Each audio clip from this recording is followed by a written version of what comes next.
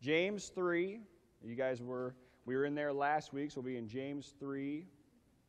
We looked at verses 1 and 2 last week, and we'll be looking at those again just as a quick overview, and then we'll be moving on and we're going through verses uh, 2 through 12 as well.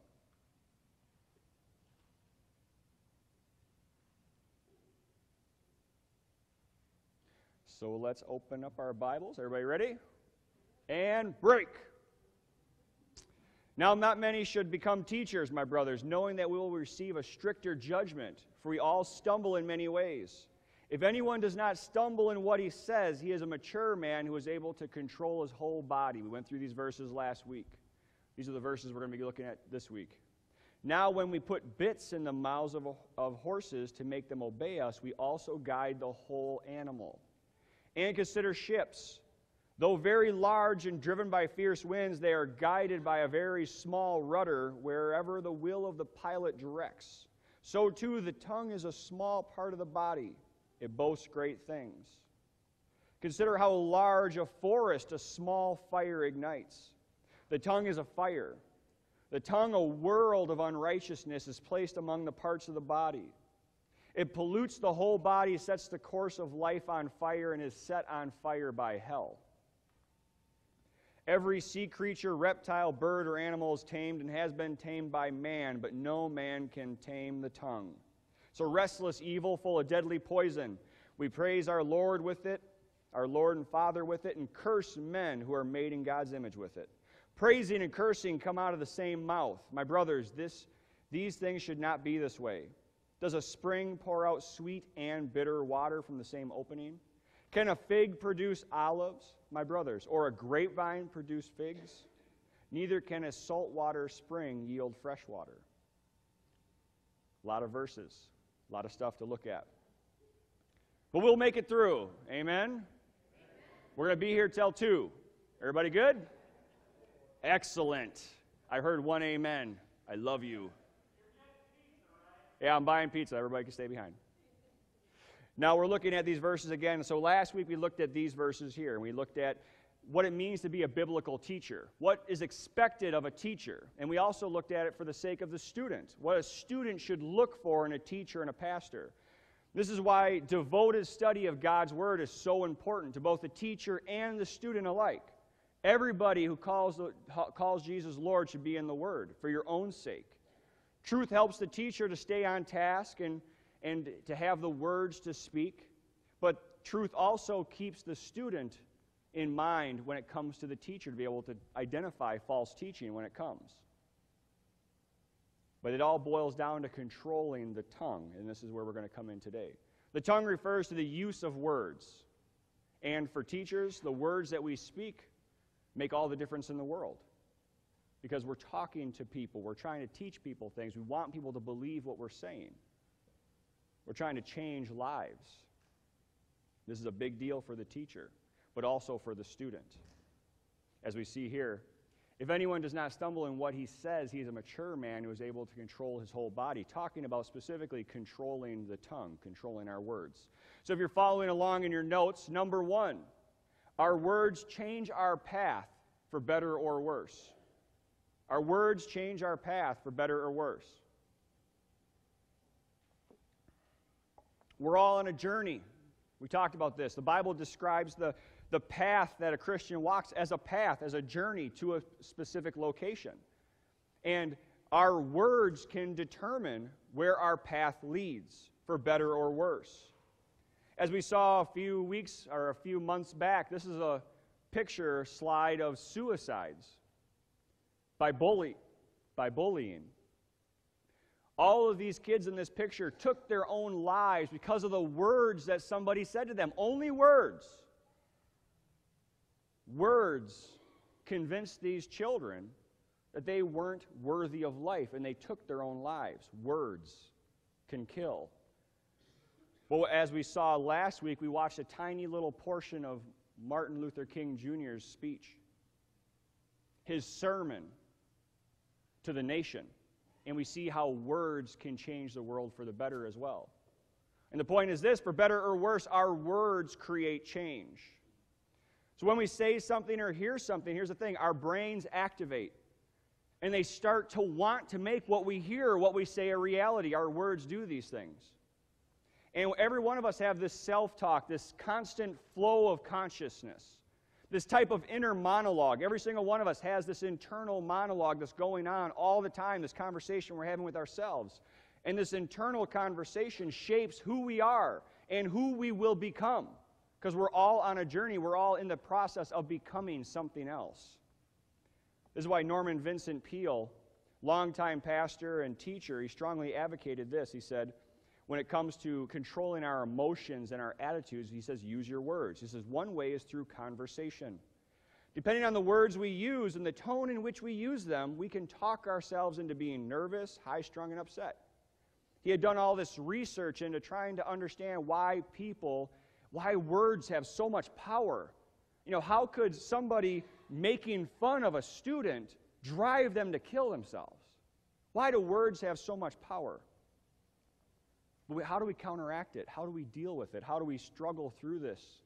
And one of the strategies that Peale gave us was to, re, to dwell on the Word of God. So, one of the things in one of his many books, he argues that you should read these verses, memorize them, and that you should repeat them to yourself 10 times a day. You guys recognize these verses. Romans 8:31. If God is for us, who can be against us? Philippians 4:13. If I am able to do all things through Christ who strengthens me. The thing is, this is not meant to be a mindless mantra. I'm not asking you to get on your knees and sit on a pillow and, and oh, oh, God, if you're for us, who can be against us? I'm not asking for that. I want you to internalize this. It's not a trick, it's a way of using your words to convince your soul to believe the truth of God. Now we went through a we went through a song today, and ironically, I had actually put this this uh, psalm in my sermon before Nick and I had even talked. And I said to Nick, I said, Nick, you know that song, "Bless the Lord, O my soul"? That'd be great if you put that in the sermon at the beginning. And he goes, By the way, I already did. I'm amazing. I'm like, thanks, Nick. Prideful. He didn't actually say those things, but I can make fun of him, and he can't say anything because he's back at the back of the room. But bless the Lord, O my soul. Bless the Lord, O my soul. This psalm says this over and over again. Bless the Lord, O my soul. It is David telling his soul to bless the Lord. Because here's the thing we don't always feel like loving our spouse or loving our kids or loving our job or loving this world or loving our homes. Sometimes we have to take ourselves and go, no, you need to love. And David says, Lord, he says, soul, love the Lord. I don't feel that love today, but soul, love the Lord. He's using his words to direct his mind. We can see here why God's word is so important to our worldview. A proper understanding of God based on Scripture and the words and language we use shape who we perceive God to be and then who we eventually become. Just like the bit in a horse's mouth, we can correct and direct our path based on our words. That's how strong words are. And James compares it to the bit that directs a horse or the rudder that directs a giant ship. If you guys have ever seen a huge boat and the rudder by comparison is tiny compared to the boat, but yet the rudder controls the direction and where the ship will end up. A tiny little rudder. In the same way, our words guide our lives. How we define ourselves, how we define others, how we speak of our friends, and listen, church, how we speak of our enemies. Right now, we have a new president. How we speak of our president, if you like him or not, speaks volumes about who we are as people. Same thing with our past president. Nobody's ever going to love whoever's in office. There's always going to be somebody who hates that individual. But, church, the Christian should be different. Our words should be edifying, not cutting down. How we speak of our enemies also shows who we are. And all these are guided by words. But not just the words themselves, how we interpret and define those words is a big difference. So, here, here's an example. Here's something Christians say all the time I'm a sinner, saved by grace. It says a lot. This says a lot about us. First of all, consider we're a sinner. It tells everybody around us that we understand that we make mistakes. I'm a sinner, I make mistakes. That's what it means. I'm broken. I'm messed up. I need help. I'm a sinner. But by identifying by being saved by grace, we're telling the world that though we indeed are sinners, we're loved by our God and Savior. These words and this understanding teach us that though we are insignificant in the eyes of the world, and we are, the majority of us will live and die, and the world will continue to revolve. It doesn't matter. But in the eyes of our God, we have infinite value. We do not deserve forgiveness. We're sinners. Yet our God loves us and granted us forgiveness by His grace. This simple phrase, I'm a sinner saved by grace, speaks not just of our failings, but of the power of God's love. And then we've got to remind ourselves if God is with if God is for us, who can be against us? Scripture is constantly telling us this over and over again to never forget and never lose that trust for the God who loves us infinitely. But it doesn't end there.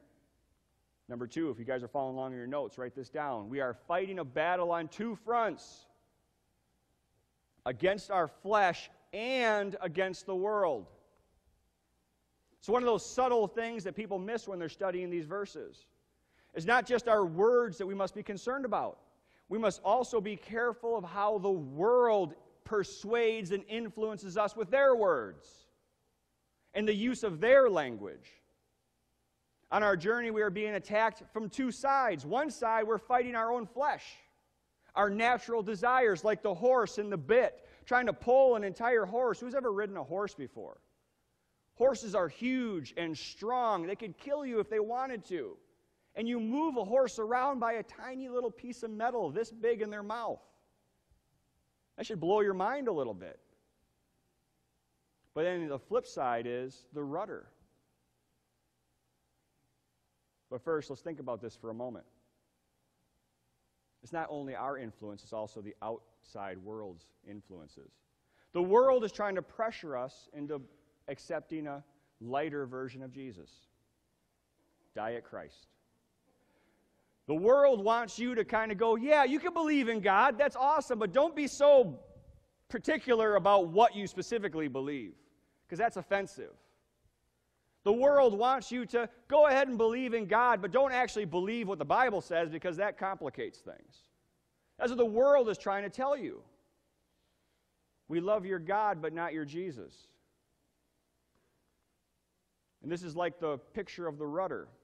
Just like a boat fights the wind and the waves and the rain and tries to drive it off course, it's the tiny little rudder that is fighting on a daily basis to maintain that course, to keep us on that path. The rudder. And these are outside forces coming down on us. Everything from homosexuality to sanctity of life, everything's up for grabs in the world. And it's our words, how we talk to people, how we speak about our enemies and our friends. All of these things determine who we are as individuals.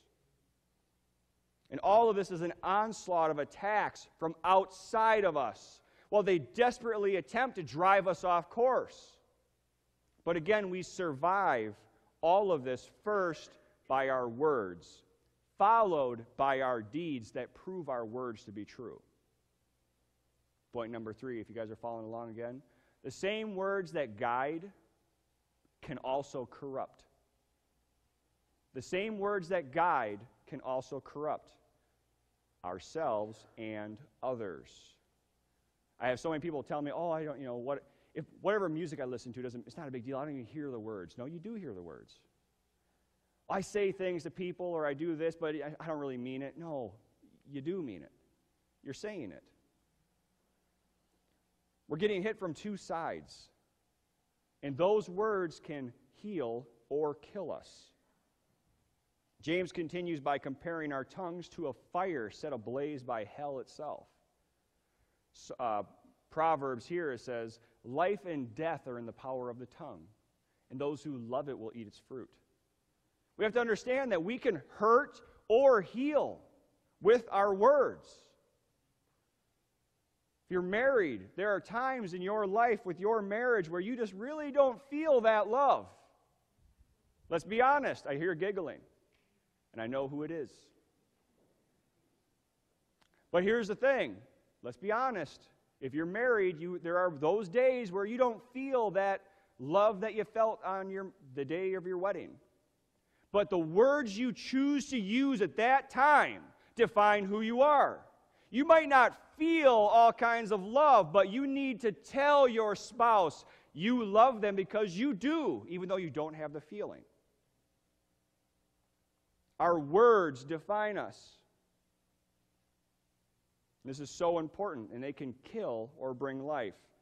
For example, a fireplace. Fireplaces keep us warm. Fire keeps us warm for thousands of years. We cooked, we cooked all of our meals on fire. Fire is great in a fireplace. The exact same fire on a curtain eats your living room, destroys your home. This video here is showing how a set of curtains start on fire, and this right here is just a repeat of the same frame, but this is only 10 seconds into those curtains getting lit on fire by the outlet. Fire spreads quickly and it doesn't care. Fire doesn't care if you're using it to cook your meal or to keep your family warm or if you're burning down a church. The same thing with our words. Words have the power to guide and lift up or to corrupt and destroy. Okay, again, let's look at this word again. Here, we talked about this I am a sinner. Such a view can be both empowering and destructive. Think about this, church. We need to be so careful about how we use our words. You see all these pseudo Christians out there, they're protesting, they got the signs up You're a sinner, God hates you, burn in hell, burn in hell. Think about how those words can either lift up and empower or destroy and kill. On the one hand, someone could take the fact that they're a sinner into a consideration. And rather than dwell on their sin, they could search for a cure to their sin. And that cure is Jesus Christ. In this instance, the knowledge of being a sinner guides us to salvation because we see that we're slaves to this sin. I'm a sinner, I'm a slave. Jesus, forgive me.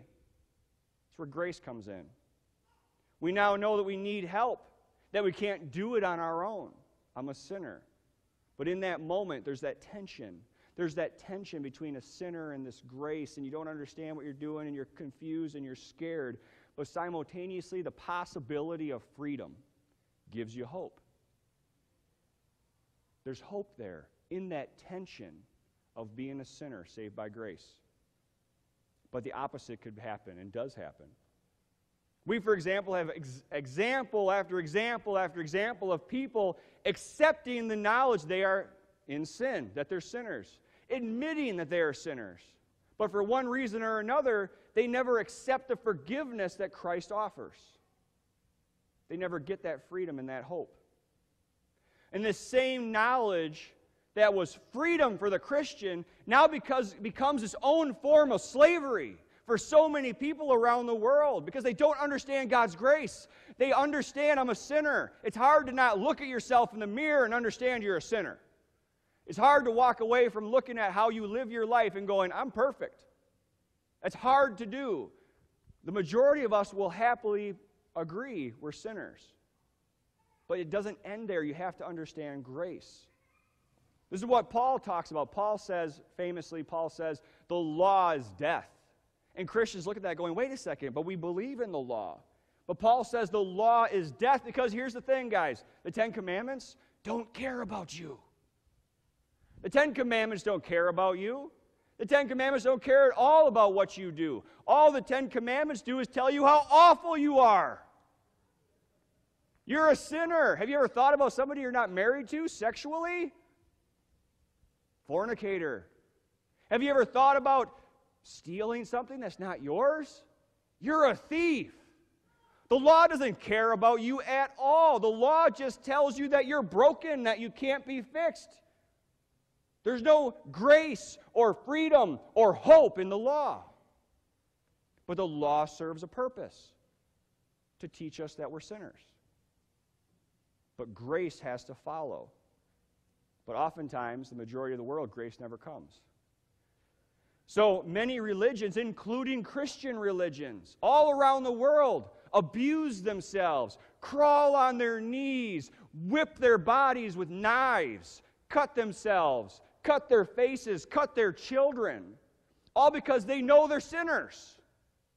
They know they don't deserve grace, so they feel like they have to earn it and they crawl to these statues. Their knees are bloodied, and they crawl to these statues of Jesus or Mary, and they're bloodied and they're broken. and Their knees have to be replaced, and they're just busted up. And then these folks here cutting themselves because they know they're sinners.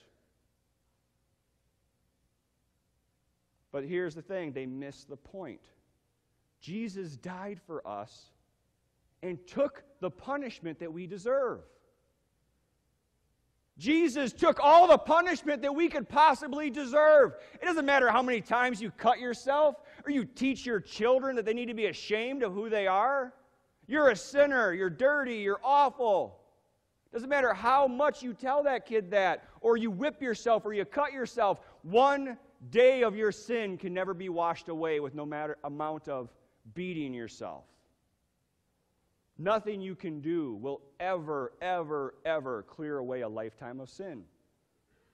Christ knew this.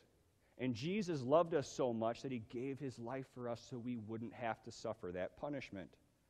If you believe that you need to crawl on your knees to get God's grace, to earn God's love, you don't understand love. Jesus himself never crawled on his knees, whipped himself, or hurt himself to earn God's grace. But you know what Jesus was willing to do? He was willing to suffer for others to receive that grace. That's love. See the same words, I'm a sinner.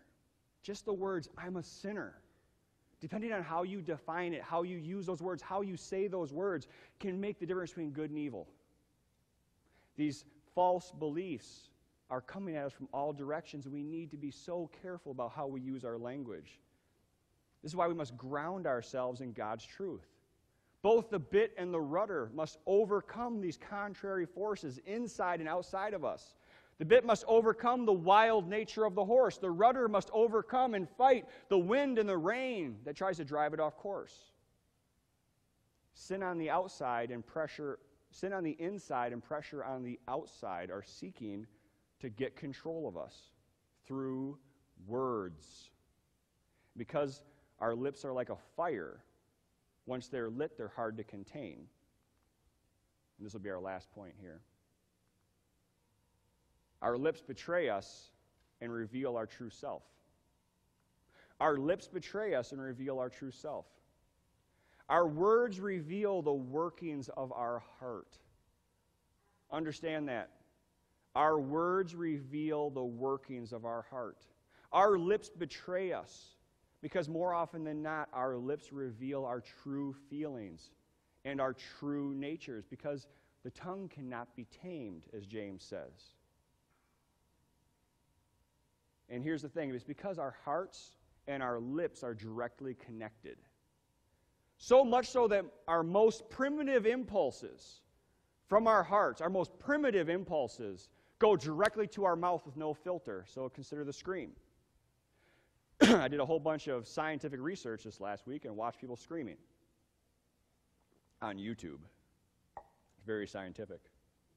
But screaming actually performs a specific task, alerting others to the possibility of danger and to bring other people to your aid.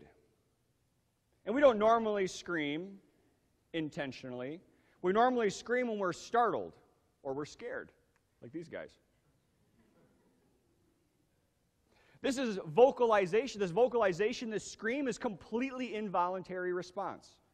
And it comes directly from who you are, your heart or your soul, whatever you want to call it. And it's actually, they were, so I was doing actual research, and I wasn't just looking at YouTube videos.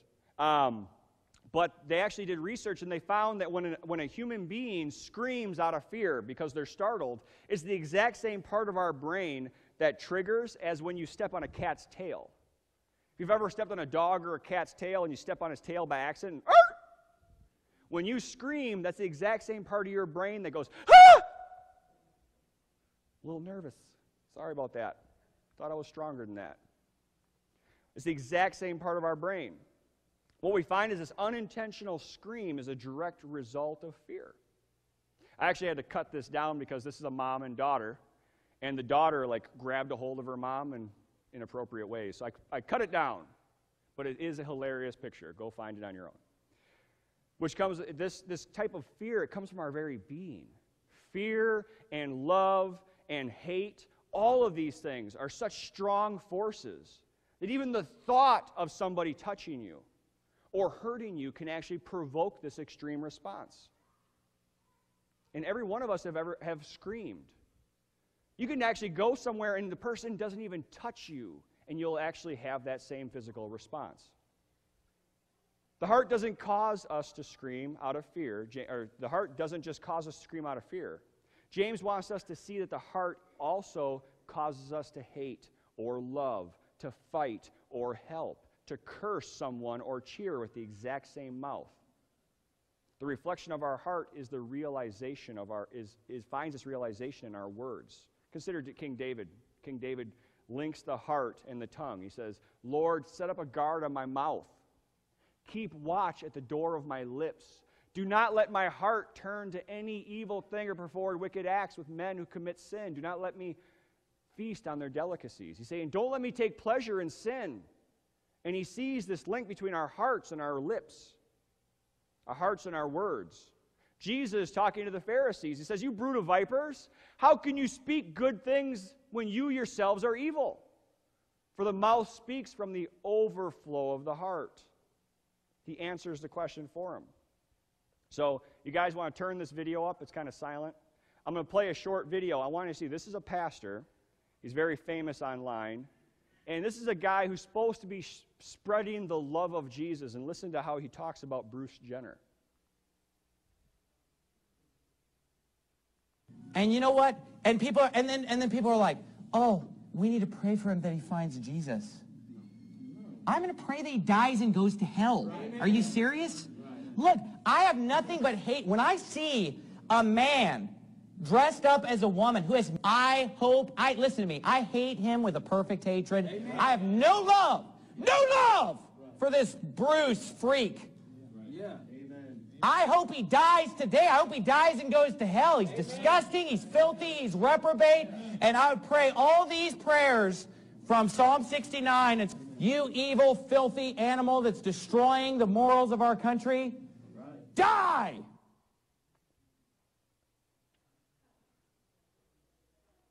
Our words betray us and reveal our true self. You may think that you're a really godly person until you smash your finger, and then you see how many times you praise Jesus. Right? You may think you're very loving, but you reveal how much you really care by how you talk about other people when they're not around. You may think that you're a really tough guy until you scream because a snowman looked at you. I had to actually cut a lot of the sound out of this because they were praising Jesus the entire time. Oh, Jesus, praise you. Save me from the scary snowman. The point is that our words will always betray us. Because a person can lie and cheat most of the time, but the tongue is not so easily tamed.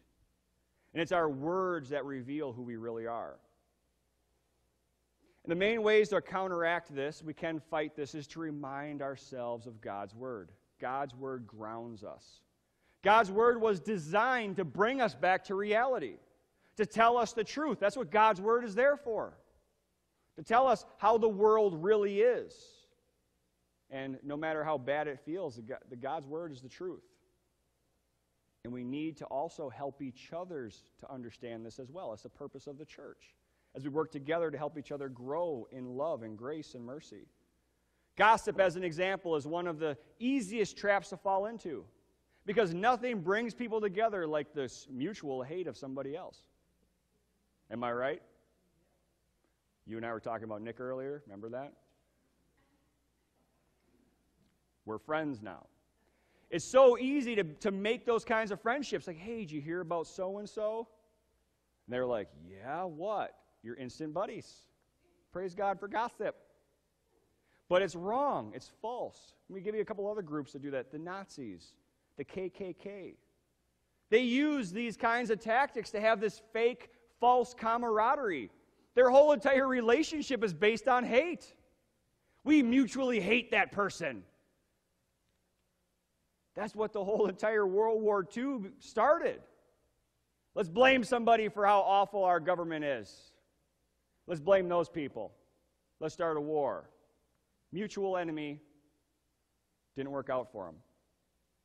Because hate oftentimes is the glue that keeps people together. But here's the thing love is the goal for the Christian. You guys remember what Jesus said when he was nailed on the cross? He said, I hate them. I hope they all die and burn in hell. You guys remember that verse? Jesus was on the cross and he's looking at this guy, stabs him. He's like, Oh, I hate you. Burn in hell, you filthy, awful person. Ah. No, he didn't say that. Jesus said, Father, forgive them because they don't know what they're doing. Compare Jesus' words and the heart of Jesus to the words of that pastor. You might be uncomfortable with Jenner. You might be uncomfortable with that whole idea. But here's the thing you still need to love on those folks. You still need to love on people. And here's the thing I don't think he's ever claimed to be a Christian, so why are we projecting our Christianity onto people who are, don't call Jesus Lord? We've been learning we need to focus in ourselves first. Pull the plank out of your own eye before you start pointing out the plank in somebody else's.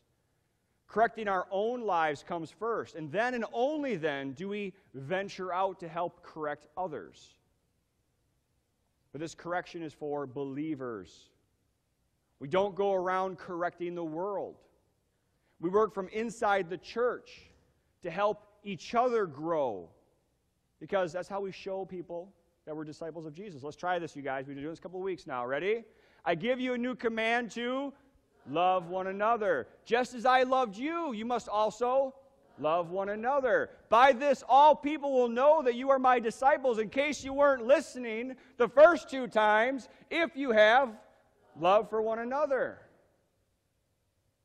Love for one another. Love starts here in the church, serving here, loving others, helping others to grow in their faith. Then that love grows and it bursts out the windows and it bursts into the streets. But it starts here with the church family. You don't go to a non Christian person and go, hey, you should be following what the Bible says. They don't believe the Bible. That'd be like a Muslim going to you and knocking on your door. Hey, just so you know, the Quran says you're wrong. You'll go, so what? I don't believe the Quran. It's the same thing. You cannot do that. The Bible is very clear. We are to correct Christians. The whole New Testament is written to Christians. There's not a single book in the whole Bible that's written to non believers. Not one. Because it's family first. Martin Luther King, one of his last sermons, he says, Occasionally in life there are those moments of unutterable fulfillment which cannot be completely explained by those symbols called words. Their meaning can only be articulated by the inaudible language of the heart. We need to make sure that our words and our deeds line up. We need to make sure that when we say something, it's edifying because our hearts should be edifying. We need to pray today and tell God. I want every one of you to pray today and tell God with your mouth that you need Him. I don't care if you've been a Christian for 50, 60 years, or if you've been a Christian for one day, or you're not a Christian. You're a sinner. Tell God you need Him. It's a humbling experience. Please, God, I can't do this on my own. I've been doing it for decades, maybe. I still can't do it on my own. I need you in my life. That's humility. Pray to God today with your heart and ask Him for forgiveness. If you honestly are thinking to yourself, I can't think of anything I've done wrong, pride. Gotcha. I haven't done anything wrong as long as I can remember. Pride. There you go pretty darn prideful if you honestly believe that. The thing is that every one of us sins, and sometimes we sin and don't even know it. Ask God to forgive you and reveal those moments to you. We should every single day, every single believer should be praying to God God, help me to be a better husband. Help me to be a better wife. Help me to be a better father. Help me to be a better daughter, a better son, a better student. Because you guys, we're all on a path. Our words are guiding us on that path, and it's either for better or worse. If you're not growing, you're shrinking. We need to be praying every single day to be better than yesterday. This should be a constant life struggle for every believer. I would love, love, love, love for the news to have, uh, to have on the news about Christian churches, how Christian churches are serving their community rather than how Christians are bashing people who aren't even in the church.